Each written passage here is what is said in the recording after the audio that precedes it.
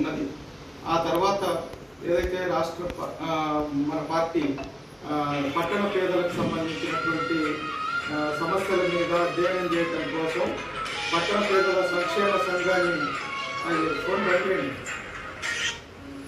పట్టణ పేదల సంక్షేమ సంఘాన్ని ఏర్పాటు చేయడం జరిగింది. రాష్ట్రంలోని అన్ని పట్టణాలకు సంబంధించినటువంటి మన నివాస ప్రాంతాలని ఆర్గనైజ్ చేయాలా? నివాస ప్రాంతాల్లో పేదల సమస్యల మీద కృషి చేయాలనేటువంటి దాన్ని ఏర్పాటు చేసినప్పుడు మన జిల్లాలో కూడా పట్టణ పేదల సంక్షేమ సంఘం నిజామాబాదు ఆరుమూరు బోధను ఈ కేంద్రాల్లో ఏర్పాటు చేయడం జరిగింది.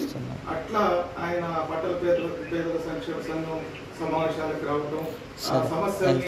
అధ్యయనం చేయడం కోసం ఒక సర్వేని నిర్వహించడం ఆ సందర్భంలో నిజామాబాద్లో కూడా బోధనలో పాల్గొన్నటువంటి పరిస్థితి ఉన్నది దాంతోపాటు దాంతో పాటు ఆయన పార్టీ రాష్ట్ర కమిటీ సభ్యుడిగా ఒక రెండు టర్ములు పనిచేసినటువంటి పరిస్థితి ఉన్నది. విద్యా యువజన రంగంలో ఉన్నప్పుడు కానీ పట్టణ పేదల సంక్షేమ సంఘానికి ఉన్నప్పుడు.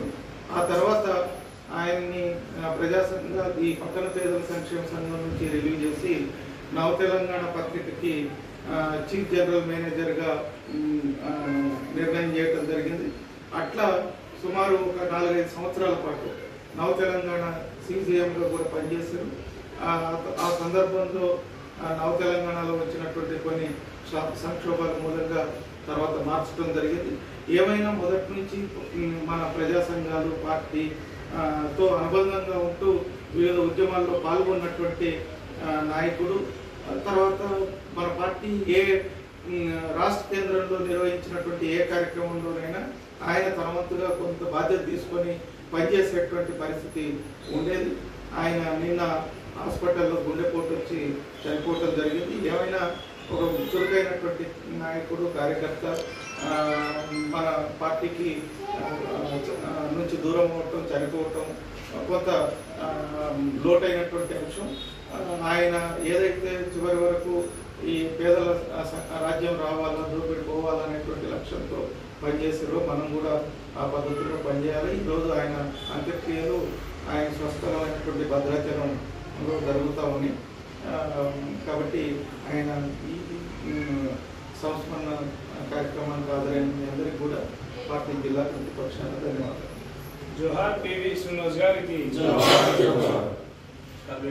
ప్రాంతాలలో పనిచేసేటప్పుడు నేను కూడా నివాస ప్రాంతాలలో పనిచేసినప్పుడు రెండు మూడు సార్లు ఆయన కన్వీనర్ ఉన్నప్పుడు సమావేశానికి వెళ్ళడం జరిగింది.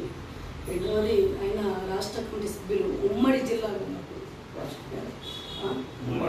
అదే ఉమ్మడి రాష్ట్రం ఉన్నప్పుడు రాష్ట్ర కమిటీ సభ్యులు కూడా పనిచేశారు. రాష్ట్ర కమిటీ సభ్యులు ఉన్నప్పుడే మన జిల్లాకు రెండు మూడు సార్లు రావడం జరిగింది. ఏదైనా ఆయన సేవలు అమోఘమైనవి. పార్టీకి కానీ అక్కడ ఉన్న మొత్తంలో నూతనంగా ఏదైతే చేశారో తర్వాత రివ్యూ చేశారు ఇండిపెండెంట్గా ఉన్నారు ఇప్పుడు ప్రజెంట్ అయితే. ఏదైనా మన పార్టీకి కానీ ప్రజా సంఘానికి కానీ తీరని రోడ్డు కామ్రేడ్ ఆయనకు ఈ సందర్భంగా సంతాపం తెలియజేస్తూ సెలవు సిపిఎం పార్టీ మాజీ రాష్ట్ర కమిటీ సభ్యులు పివి శ్రీనివాసరావు గారు అకాల అనారోగ్యంతో గుండెపోటు వచ్చి చనిపోవటం జరిగింది. వారి మృతికి సిపిఎం జిల్లా కమిటీ పక్షాన సంతాపాన్ని వ్యక్తం చేస్తూ ఉన్నాం. ప్రధానంగా విద్యార్థి రంగంలో యువజన రంగంలో పట్టణ పేదల సంక్షేమ సంఘంలో పనిచేసి అనేక ఉద్యమాలని కార్యక్రమాలని నిర్వహించినటువంటి చరిత్ర పివి శ్రీనివాస్ గారికి ఉన్నది.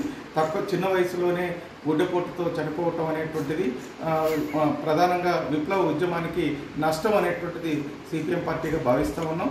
ఏమైనా పేదల సంక్షేమం రాజ్యం ఏర్పడాలా ఈ దోపిడీ వ్యవస్థ పోవాలనేటువంటి లక్ష్యంతో పనిచేసినటువంటి వ్యక్తి పివి శ్రీనివాస్ అని ఆయన ఆశయాలను కొనసాగిస్తామని తెలియజేస్తాం.